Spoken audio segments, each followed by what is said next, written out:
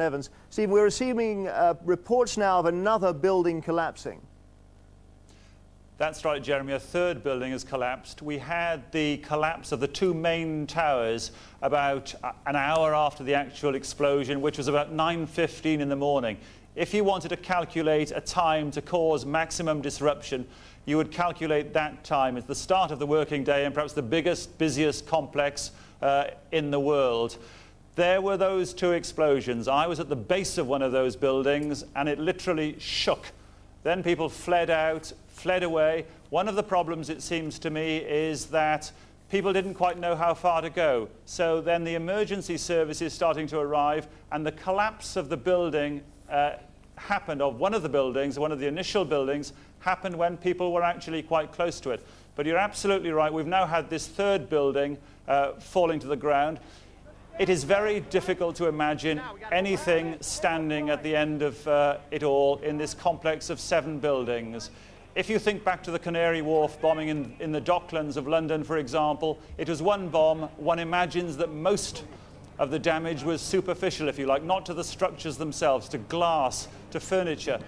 Looking at that scene this morning here in New York, it's hard to imagine anything surviving those two explosions. Is there, can there be any kind of rescue operation here, given what's happened? I can't imagine that there will be any kind of uh, uh, rescue operation. It's absolutely impossible to estimate the kinds of numbers under that kind of debris. 50,000 people, as I say, work in those buildings. But one of the problems, it seems to me, uh, and I was just alluding to it, is that the emergency services got there rapidly. There were hundreds of uh, ambulances and fire uh, trucks very, very quickly there. People assumed that the thing was contained. People assumed that there was uh, a series of explosions quite high up in the buildings and realized quite late, if you like, that actually the thing wasn't contained and the engineering couldn't cope with the force of those blows. So there will be high casualties from the initial attacks, but there may well be casualties from later.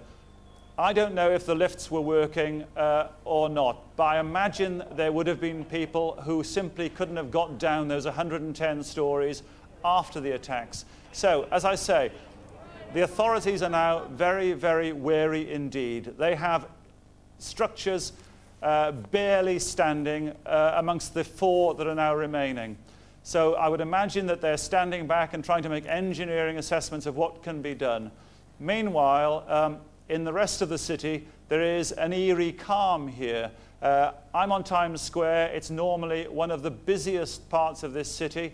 Uh, you can see it now. There's virtually nobody there. It's normally blasted with adverts. They've, by and large, been turned off. That's partly because the city's been closed so that ambulances can get from the World Trade Center to hospitals, but it's also uh, because people have simply gone home. There wasn't panic when those bombs went up. People were very orderly. There was fear in their voices. Their eyes were getting moist, but people weren't really screaming like you think they might have been screaming.